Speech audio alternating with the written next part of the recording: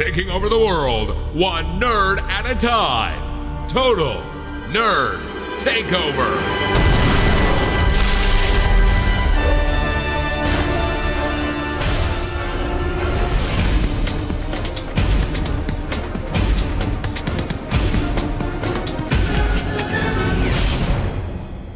Hello, Chris Gray from Total Nerd Takeover Studios. And in this video, I am going to answer a question that a lot of people have been asking um, from the PlayStation 4 hard drive upgrade video I have done. How do I upgrade, how do I upload and save all my game saves? And how do I restore them and or the games? Well, let's start out with if you've purchased any downloadable games, after you do the hard, hard drive install, from the previous video, what you want to do is you want to go into PlayStation Store and find those games and re-download them after you sign in to your PlayStation account because those games are connected to your PlayStation account. So you'll have to re- restore by doing that. So you'll go into PlayStation Store, it'll ask you for your, you know, your username and password, put all that information in, go to that game and re-download it. Now, for system discs, you know, if you if you bought an actual hard disk of a game, you'll need to take the game disk and reinstall it from the CD. That's how you'll do that. But what about game saves? Okay, well, game saves we can also back up before the installation of the hard drive and restore after we put the new hard drive in.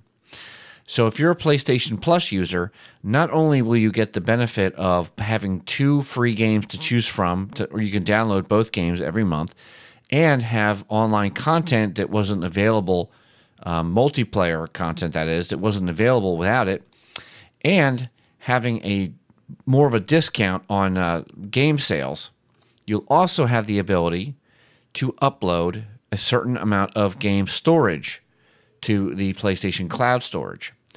Now, the trick with this is that PlayStation Plus only gives you one gigabyte. That's right. I said one gigabyte of online cloud storage, which honestly is not enough. Well, during the time of this recording, it is one gigabyte of online cloud storage. So let's start with that first. So I know this is kind of funny. I made this video after the hard drive video. I should have made it first, but such is life. We're going to now upload our games, our game saves to the online storage, and then I'll show you how to do it for USB. So first, we're going to go up to this part of the menu here, and we want to go to Settings. This part of the, the of the guide is for people who have PlayStation Plus accounts. Without PlayStation Plus, you cannot do this uh, for the online storage. Okay, so now I'm going to go to, I'm going to scroll down here where you see, uh, you'll see highlighted the application saved data management. And we're going to select that by hitting X. Now here we have three choices. We're going to stick with the top choice for now. That's save data in system storage. Tap on that. Now our next set of uh, options, we're going to upload to online storage. Tap on that. Now, here you'll see a list of all the game saves that you have available that you can online cloud store. Keep in mind, these are not the full games, these are only the game saves. And like I said before, if you need to reinstall the games, you have to download them from the PlayStation Store or from the upload or, or install them from the discs. Okay, so let's select one. We're going to select Batman Arkham Knight. It's 31.46 megabytes. I then have several saves that I can choose from. Uh, well, in this case, I have three. Some games will actually have more, uh, which we'll talk about in, in just a moment. So for now, I'm just going to choose the most recent. So I have it highlighted. I will hit the X button, which will give it a check mark on the left. I then will go to the right bottom where it says upload. Tap on upload, it'll upload to my cloud storage. Done. That's all there is to it. Keep in mind you only get one gigabyte. Now, if your online storage is full and you have to make space for the game saves, what we're going to want to do is we're going to want to back uh, back out of this menu by hitting the circle button and we're going to go to saved data in online storage. That is the second option here. We'll have it highlighted. Press X, and now we're going to go to delete.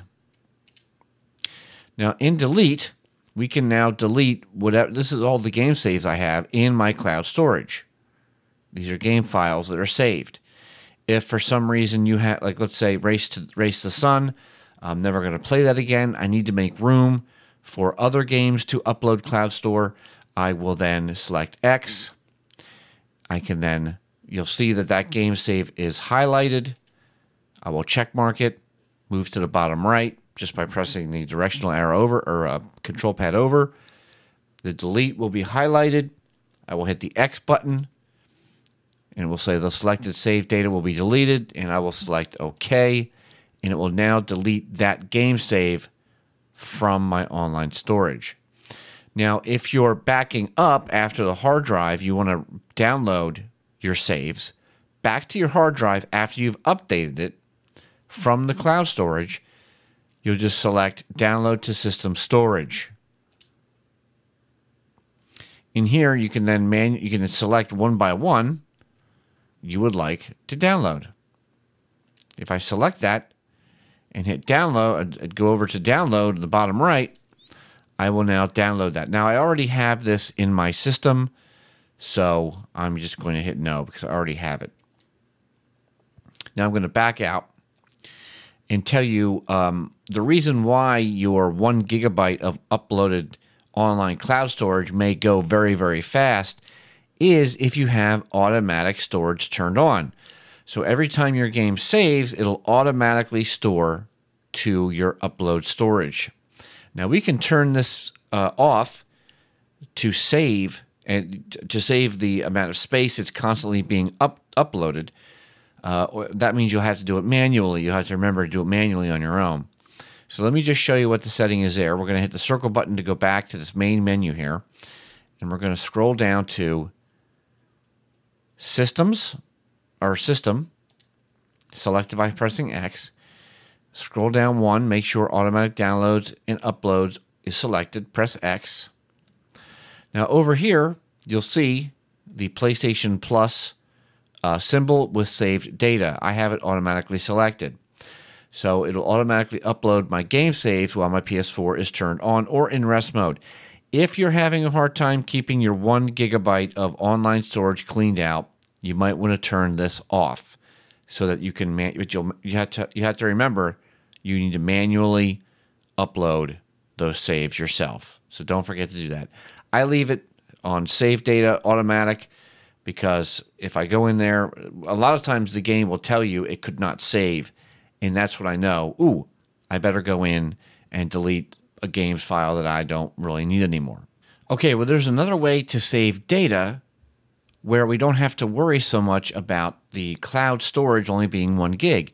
And that would be using a USB stick or even an external drive. Now, keep in mind, the external drive, uh, if you're using an external um, spinning disk drive, it needs to be an exFAT. It needs to be an exFAT format uh, or external format. And if you're using a USB stick, you want it to be in FAT32. FAT32, very similar to when we did the system install after installing a new hard drive. So for this demonstration, I'm going to be using a 8 gigabyte USB thumb drive, which I'm going to plug in right now into the PlayStation 4. You can also use an external drive, such as this one here. This is a uh, 250 gigabyte Seagate external drive. I will have different links in the description uh, if you need to purchase any of these. And I'm going to show you um, how to figure out what size memory thumb memory stick you need or hard drive. We're going to hit the circle button to back out, hit the circle back uh, to back out again, and let's go back up to the top of the menu here where it says System Storage Management. We're going to tap, make sure that's highlighted, hit the X button, and this will show you the application data you have, the capture gallery, application save data, themes, and the free space will be on the bottom. the very top, you'll see that's how much space I've used in my two terabyte hard drive. Now, uh, what we're looking at here is application save data. So I'm using about 1.13 gigabytes. So an 8 gig thumbstick will do just fine for saving all of the data, uh, all the online game saves that I have. Okay, so let's go backwards by hitting circle. Now I'm using an 8 gigabyte thumb drive, so I have plenty of space. Let's go back up to Application Save Data Management. Make sure it's highlighted and press X. Now we're going to go back into the Save Data in System Storage. And now we're going to copy to USB storage device. Now here are all the game saves that I have. And I'm going to select Batman Arkham Knight. Now you can select all of them or you can just select one at a time. Now I'm going to select one at a time and I'm going to go down to copy and it's going to copy, I can copy it to my USB storage device. You'll see it on the right. Um, I already have it in there, so it's asking me to overwrite. I'll just say yes so you can see what it looks like. There it goes. Pretty quick. Unfortunately, it looks like you have to do it for each save manually. So let's do Magicka 2. I will select that and I will select all of them. Now I can select all of them by just scrolling over to the right, highlighting select all, and then scrolling down to copy.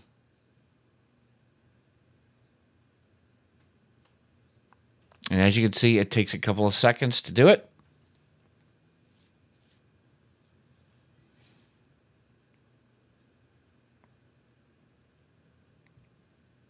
Bam, now you're saved.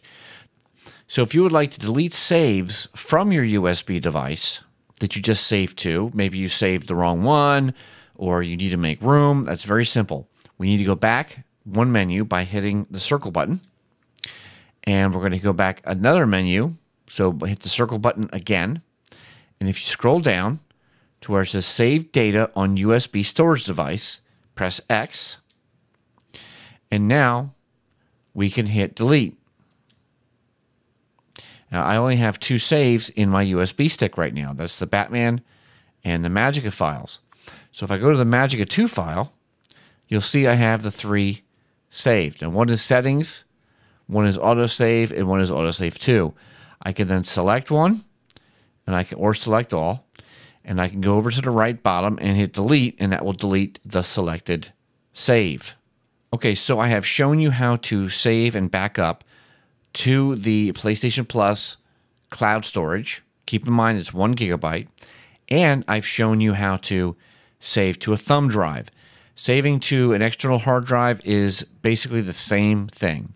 Now, what happens after you put your hard drive in, you put all your PlayStation, you know, credentials back in and you get everything set up and you're ready to rock and roll again you start installing your game discs, discs and you are now ready for your game saves. Okay, no problem.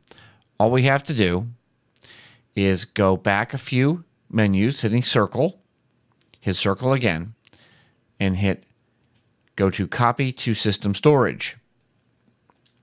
Now, this way we can copy this information from the USB to the system storage. So we can either select all or we can select individual save files. So if we select all, they'll all be checked. We can go down and copy. Now it'll copy from the USB back to the PlayStation 4. And if I do that now, it'll just overwrite the data I already have. But that's how you would reinstall those settings. We can also do that from the save data in online storage. So if we scroll up to save data in online storage, select that, you would then download to system storage.